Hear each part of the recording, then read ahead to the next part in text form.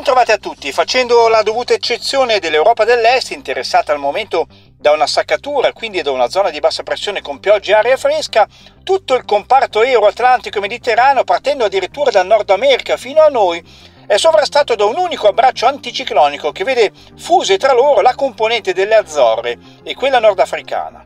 Questo persistente sollevamento in blocco della fascia anticiclonica subtropicale a discapito di quella temperata, che dovrebbe invece occupare le nostre latitudini, è anch'essa una conseguenza dell'aumento medio della temperatura terrestre, che determina proprio una dilatazione delle fasce climatiche calde a spese di quelle fresche, sempre più relegate verso nord, verso i poli.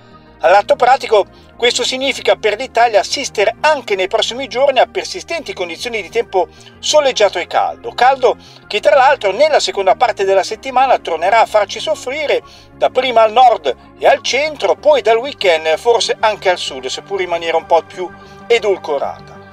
Cosa determinerà ancora questa ennesima visita da parte delle correnti nordafricane? Tutto nascerà dalla presenza di una piccola goccia di aria fresca in quota isolatasi al largo del Portogallo che farà d'ago della bilancia interrompendo il flusso atlantico da ovest in favore di correnti continentali da sud, appunto dal Sahara.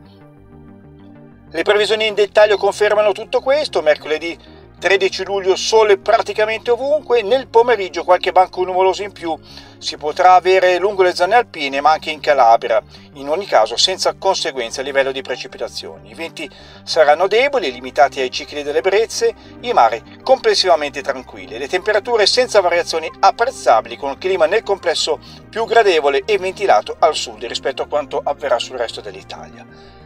Giovedì 14 luglio lieve instabilità di passaggio sulle Alpi orientali, per il resto soleggiato con modesti addensamenti cumuliformi pomeridiani sulle Alpi e anche sull'Appennino settentrionale. Mari e venti rimangono tranquilli, a parte qualche folata di maestrale possibile sulla Puglia.